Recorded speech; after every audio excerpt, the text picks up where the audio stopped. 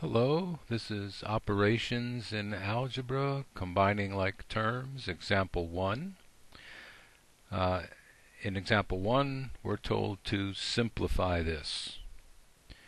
And these are three terms added together. You really should uh, get the nomenclature down. You can't just see a bunch of junk here.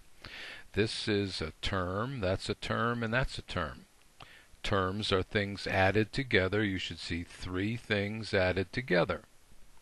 And um, this one's a little sim little different. It's got uh, two things multiplied together. Those are factors. Uh, 5 and b are factors. Now b is 1b, 5 is 5b.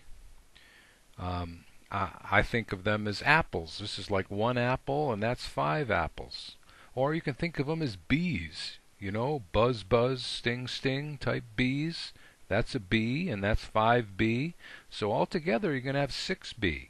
But you might say, oh, wait a minute, Mr. Bogdan. We got B plus 2.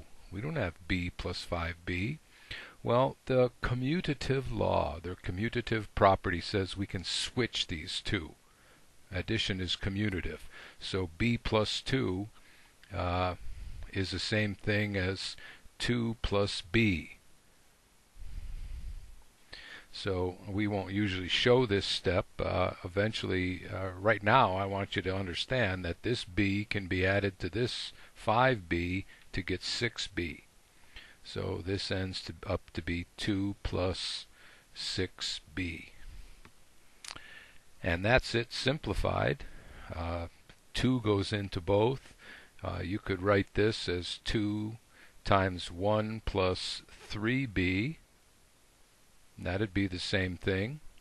But uh, this is usually about as simple as, as we need it. This would be a factored form.